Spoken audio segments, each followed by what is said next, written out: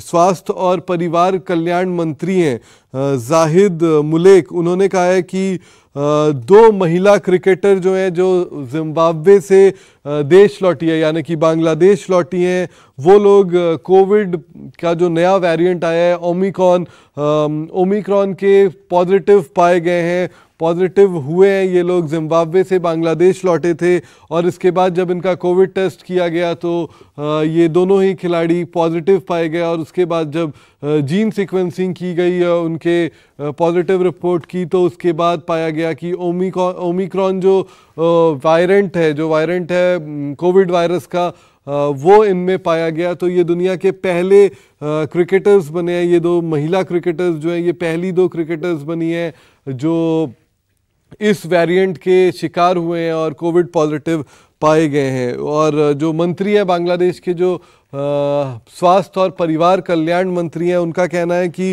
इन्हें रिकवर होने में कुछ वक्त लगेगा। वैसे तो स्थिति सामान्य है, बहुत ज़्यादा क्रिटिकल नहीं है और उन्हें प्रोटोकॉल के अनुसार क्वारंटीन किया गया है और देख रेख में रखा गया है दो हफ्तों के लिए और इसके बाद जैसे ही वो रिकवर कर जाते हैं तो इन्हें छोड़ दिया जाएगा और इनको ये वापस अपने घर जा पाएँगे। इसके अलावा उन्होंने ये कहा है कि जो कॉन्टैक्ट ट्रेसिंग है ना, वो की जा रही है इस वक्त और जो भी उनके क्लोज थे, जो भी उनका क्लोज कॉन्टैक्ट थे उन सभी का जो है वो टेस्ट किया जा रहा है और उस टेस्ट रिजल्ट्स का इंतज़ार किया जा रहा है और सबको ऑलरेडी अलग कर दिया गया है।